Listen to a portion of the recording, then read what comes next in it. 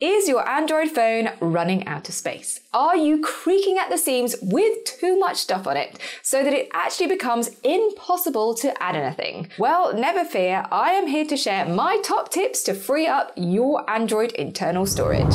Hi, I'm Amanda Littlecott, the photo organizer, and I'm all about helping you preserve and share your precious photo and video memories without getting overwhelmed. If you're looking to rediscover life's special moments and protect them for future generations, then be sure to subscribe and click that little bell to be notified every time I release a new video.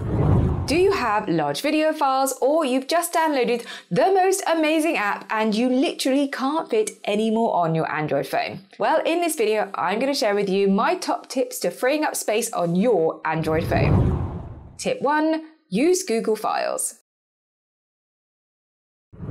If you're using Google to back up your phone, you can also use it to use Google Files to help sort your phone. Although Google is standard, you might need to download the Google Files app. So you will need to do that first. And then you can use it to find and delete stuff that you may not want. Once you have downloaded the Google Files app, you just open it up and go to clean. It then gives you some options of areas you might want to delete, such as junk, duplicates, blurry photos, large files, and recordings so you can just go through each section and clear out that clutter. Tip 2 Check apps you don't use. We all download apps and then forget that they are there.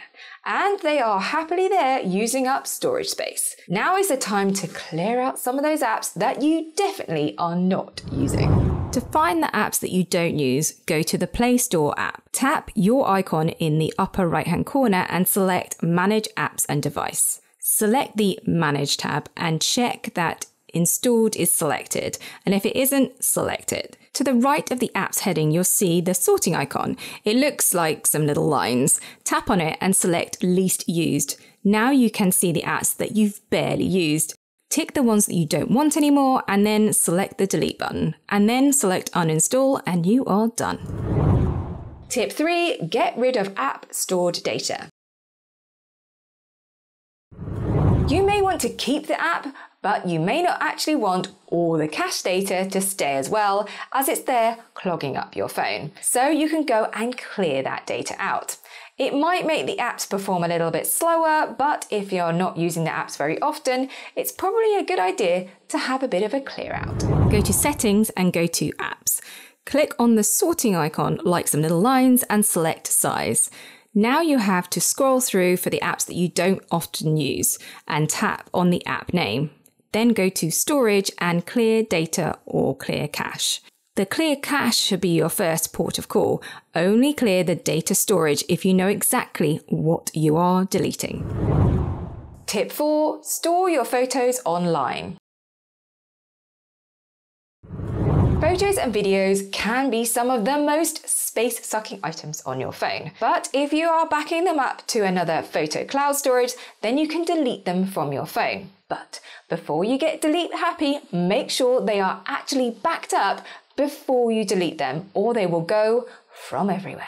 Not sure which is the best cloud storage for your photos? Then check out my other video on the best cloud storage for your photos in the link above. It leaves out the tech speak and focuses on what is best for your photos. So check it out. Tip 5 Empty the downloads folder.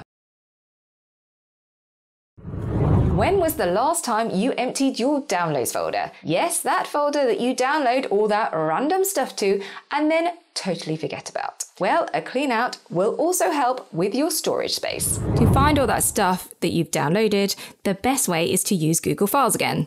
Open Google Files and go to Browse, then select Downloads. Then you can select one by one, or if you want to select everything, you can select one with a long tap and then go to the three dots in the top right hand corner and select all. And then unselect what you want to keep and press the delete button. Now, isn't that cleaner? Tip 6 Delete offline maps in Google Maps. If you didn't know that you could download and do offline Google Maps, then this is going to be a revelation for you. But yes, you can take Google Maps and download them to your phone so you can use it offline if you're traveling where you don't want to suck up all your data or you're going to be somewhere with no signal. But Once you have finished your trip, when was the last time you deleted those offline maps? Well, now is the time to delete them. So open up Google Maps and tap on your profile picture. Select offline maps and hit the three dot menu next to the downloaded areas and then tap delete and confirm by selecting yes. And your offline maps will have gone. Now you've freed up that space, you can go and create some more memories by taking even more photos and videos. But remember to keep on top of these top tips, otherwise, you're going to end up exactly where you started. Do you know any other great tips for freeing up your Android internal storage space? Then leave them in the comments below. Are you confused about which is the best cloud storage for your photos? Then check out my nifty tool to find the best cloud storage for your photos that can be accessed through the links below. So click through and check it out. If you enjoyed this video, go ahead with a like and a share and don't forget to subscribe.